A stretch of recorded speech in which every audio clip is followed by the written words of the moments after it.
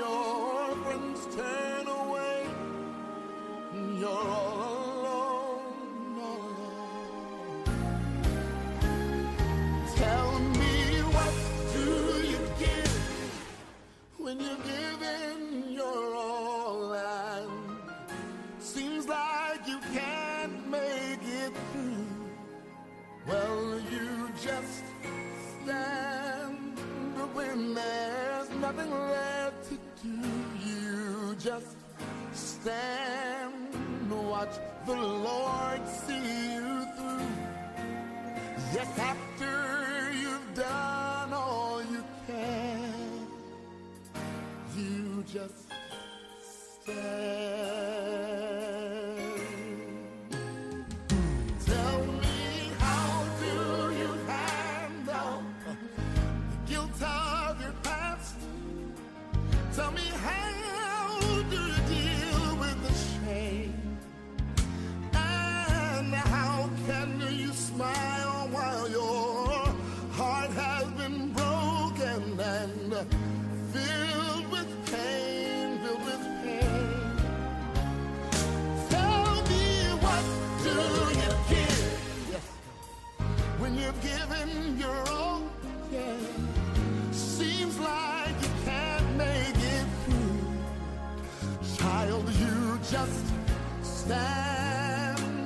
There's nothing left to do. You just stand. The Lord see you through. Yes, after you've done all you can. Hello.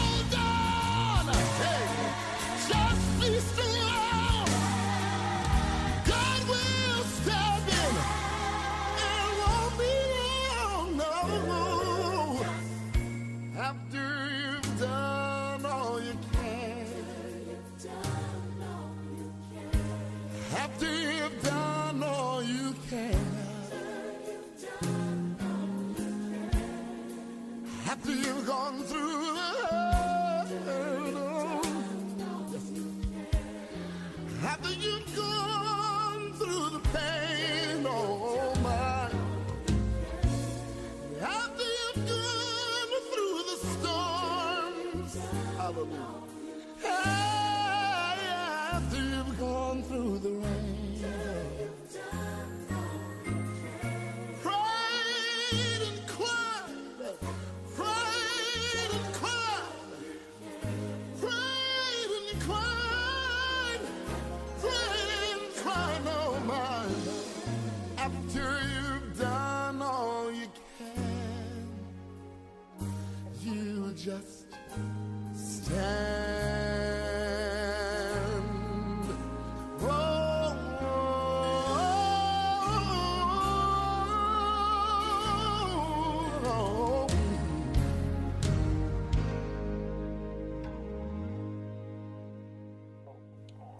Hallelujah. Amen. After you've done all you do, you just stand. Is everybody on the line now?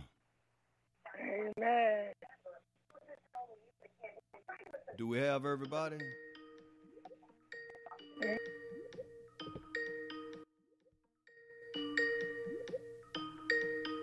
Okay.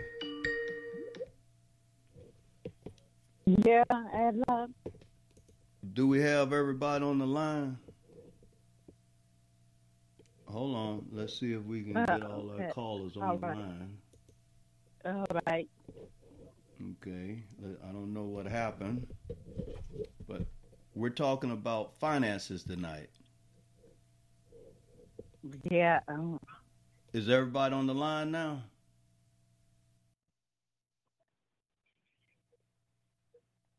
Hold on.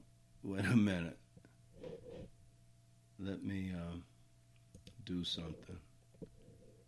Ah, this is crazy. We're going to go back to a break and come right back. Hold on. All right.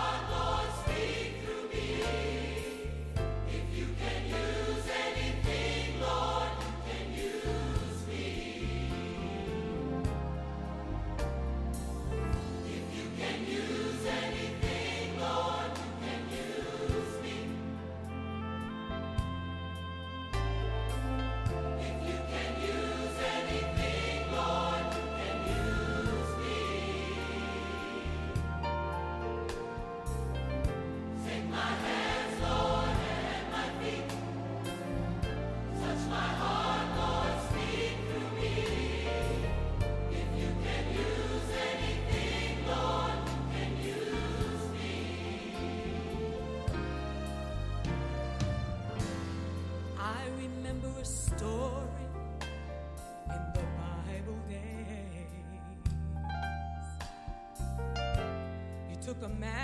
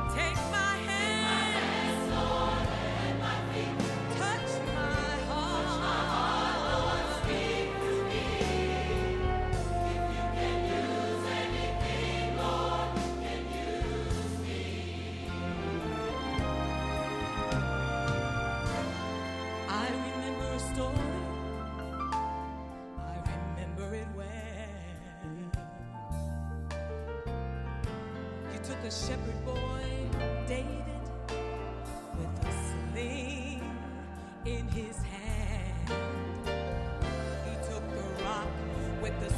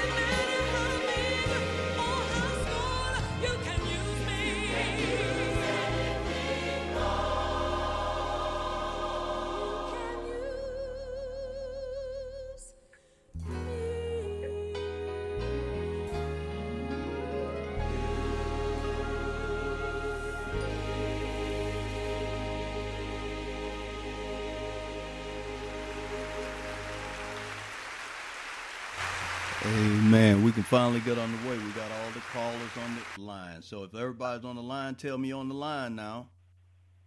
Yeah. Okay, let's do it. Look, we're talking about finances tonight, okay? Everybody understand? Yeah. Okay, we're talking about Deuteronomy 8:18, Deuteronomy 1:11, Deut- Proverbs uh, 118. 10 22 psalm 112 2 corinthians 9 6 matthew 25 27 matthew 6 10 and we're going to end up with second 8 9 ready. We're ready. okay here we go. Look now a lot of people get uh mis uh, get confused about finances in the kingdom right? Do you need any money in heaven when you get to heaven no. No. So why are you always misinterpreting what the Lord tells you about money? Money is only needed where it's needed. He said, render unto Caesar what is Caesar's and render unto God what is God. Now, in the spirit realm, they don't need no money.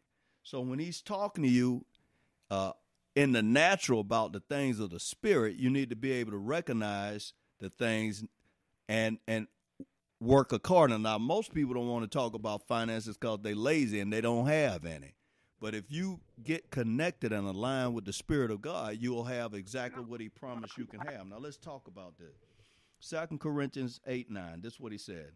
For ye know the grace of our Lord Jesus Christ, that though He was rich, yet for your sakes He became poor, that ye through His poverty might be rich. Now, obviously, uh, a lot of people try to connect that with, uh, you know, he came to heaven and and gave up his riches and glory to come here to uh, make us the righteousness of God in Christ Jesus by taking away our sin. That's all well and good. He's also talking about finances because if he didn't talk about finances, he wouldn't have put it in his covenant. And that's what he was saying in Deuteronomy 8 18. He said, But thou shalt remember the Lord thy God, Jesus Christ, for it is he that giveth thee power to get wealth, that he may establish his covenant which he sware unto the father thy fathers as it is this day. So he's giving you power, given the way he came to earth to sacrifice for you, to get wealth, to have things that he could distribute all throughout the earth. In other words, he's telling you you need to be a distribution center. If he can get the wealth through you, he'll get the wealth to you. And that's what he's explaining. Look at what he's saying about uh, uh, Psalms 1 112. He said, Praise ye the Lord. Blessed is the man that fears, that respects the Lord, that delights greatly in his commandments. His seed shall be mighty upon earth. These are promises. The generation of the upright shall be blessed. Wealth and riches shall be in his house, and his righteousness endures forever. Now, if he didn't want you to have wealth and riches, why would he promise that to you if you delight yourself into the law of the Lord? Now, don't get it twisted. He's not just talking about money, he's talking about why he gives you money. And in the uh, when we're praying, we're asking him in Matthew 6:10. He said, "Your kingdom come, Jesus. Thy kingdom come. Thy will be done in earth as it is in heaven." Now look, now you got to imagine your kingdom. What is the kingdom of God? It's not meat and drink and provision, but it's righteousness, peace, and joy in the Holy, Holy Ghost. So we're asking for him that his kingdom come on earth as it is in heaven. So imagine what he told you heaven is, and he wants that for you on earth, right? So you don't need money in heaven. He's not telling you to, uh, you know, get money in heaven. You won't need it, right? He said, now, this is Matthew 6 19. And uh, I'm going to try to make it clear to you. He said, Lay not up yourselves treasures upon earth where moth and rust doth corrupt, where thieves break in and steal.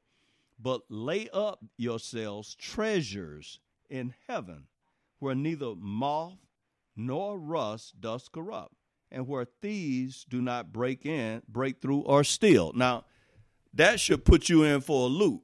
You just said you don't need no money in heaven, so why is he telling you to store up your treasures in heaven? Watch this. When you go to the bank and ask them for a withdrawal, what are they going to ask you? What I gonna ask you? Yeah, when you've been to a bank, how do you get your money out of the bank? How much? How much? They're gonna say, "Well, how much you want to withdraw?" And they're gonna say, "Well, I Yeah. want a million dollars." Then the lady gonna say, Oh, yeah. "Okay, ma'am, we're gonna check your account," and she's gonna say, "Well, we don't, ma'am. I understand you want a million dollars, but your account doesn't have a million dollars in it." So the Lord is telling you you need to build up your account. So when you go and ask for a withdrawal, He looks into your account and say, "Oh, wow, okay." Well done, my good and faithful servant. What, what's your petition? He asked Solomon that. He said, Solomon, what do you need? You're a faithful guy. Let me tell me what you want. You see what I'm saying? You think he'll do that just for Solomon and won't do it for you? Yeah. He'll do it for you too. So you got to build up your account. So when you go make a withdrawal for one of your children that's sick, you say, Lord, I'm coming in my upper room now. Uh, I, I, my credit is good, I think. I've been doing this a long time. I need you to intercede. I'm interceding for one of my children. And he's going to say, let me check anime and see if your credit's good. He said, oh, Lord, yeah, your credit's pretty good. Well done. What do you need? Well, Lord, my daughter's eye. She's sick. I want her eye healed. I got that. I got that. Okay. And when you stand praying in private, he's going to bless you openly. Do you see what I'm telling you? Yeah. But if you don't have nothing in your account, how God gonna give you something if you ain't got nothing built up in your account? Ain't no treasures in heaven for you, huh? Uh, Does that make sense to you?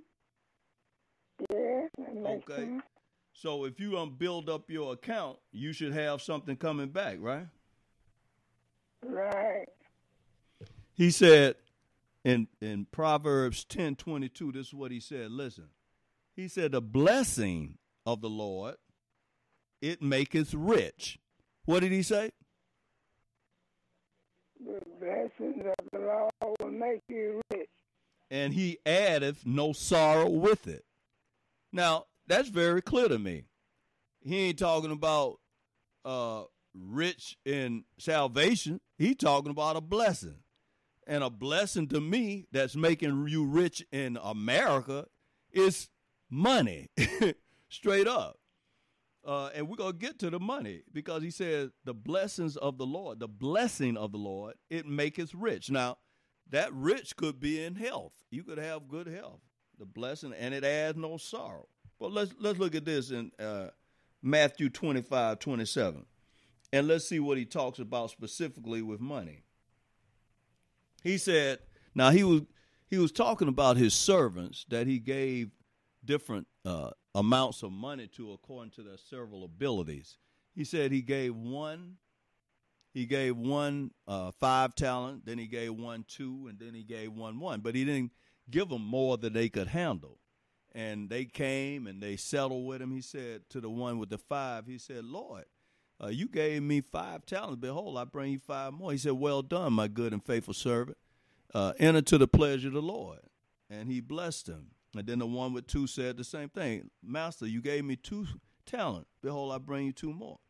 He said, Well done, my good and faithful servant. You've been obedient in a few things. I'll make you master of many. Enter to the pleasure of the Lord. Now, then you got this sorry old dude that's religious, go to First Baptist Church or over the hill talking about, Lord, I did what you told me to do. I buried my talent. And here, that one talent you gave me, here it is. He said, You sorry thing. What? You sorry thing?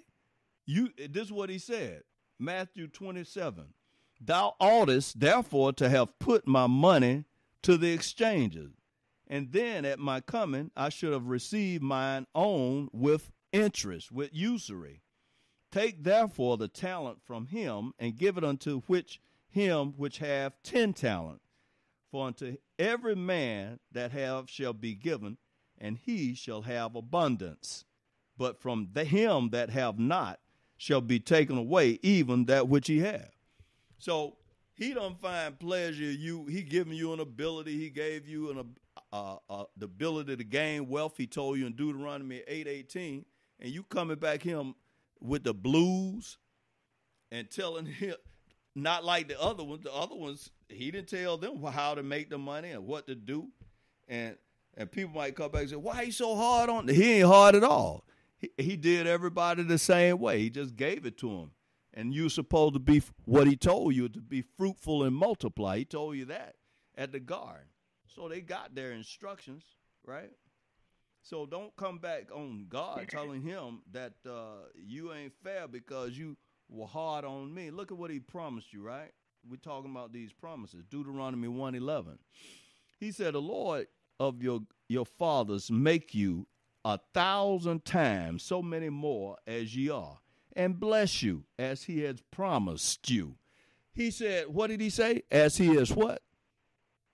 As he is promised you. That's a promise, isn't it? Yeah. He didn't say he might give you a thousand times. He said he gonna give you a thousand times. Now, if you don't go back and look at your benefits packet, then that's your fault. Now, if you worked with the company for 20 years or however long it was you worked with them, and you don't know your benefits, whose problem is that? That's your problem, isn't it? Yeah. We're talking about finances. A lot of people, like I said, they don't like talking about finances in church. They think that's that doesn't go together. But the Lord said in Deuteronomy eight eighteen, I've given you the power to gain wealth for a reason. He didn't just want you to go out and splurge it on yourself, but he said you have not because you ask not, and when you do ask, you ask amiss that you can splurge on yourself. You need to be a distribution center. Now, 30 minutes is gone already. Ain't gonna hold you up. So if you want to know how to amass the kind of thing that God promised you, in Romans 10 9, he gives you the most ultimate gift, salvation. In Romans 10 9, he said, If you confess with your mouth, Lord Jesus, believe in your heart God raised him from the dead, then you're saved because with the mouth confession is made to salvation and with the heart belief is made into righteousness. And he said, and we also believe in Luke 11 13, he said, You being evil know how to give your children good gifts. How much more will your Heavenly Father give you the Holy Ghost if you ask Him? So we feel like it's imperative that you receive the Holy Ghost once you receive Jesus Christ so that you can worship in spirit and in truth. I don't know how you worshiping God. He said the true worshipers in John 4 24, because God is a spirit and he desires you to worship him in spirit and in truth. So that's the way we're going to leave it tonight. Anybody want to try to sum it up or you think you got the message that you were supposed to get? Mm-hmm. I think I, You think you what? I think I got the message I'm supposed to get. Okay, pray To for us worship then. God. Dear Lord, help us to be fruitful and to multiply and to repent to us in Jesus' name. Amen. Now that was pretty good summary too. Let's see what the people have.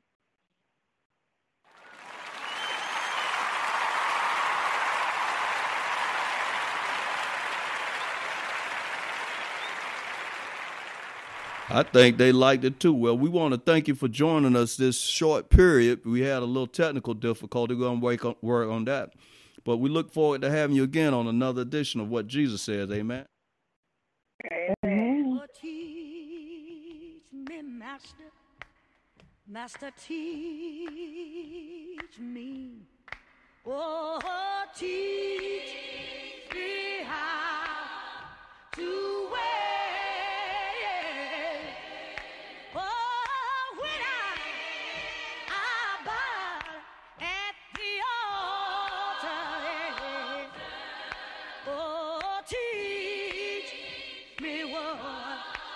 Say. Uh-huh. For I would not live, live a liar. I tell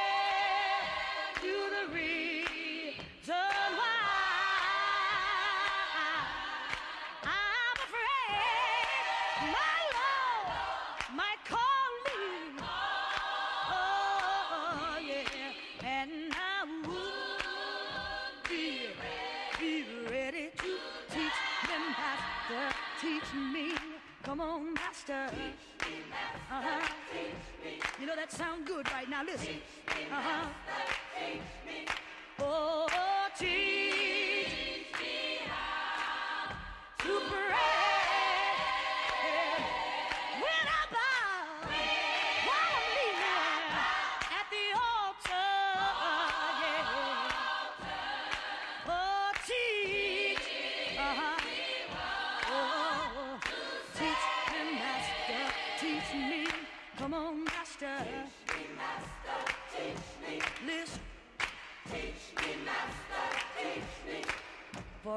I would not be a gambler.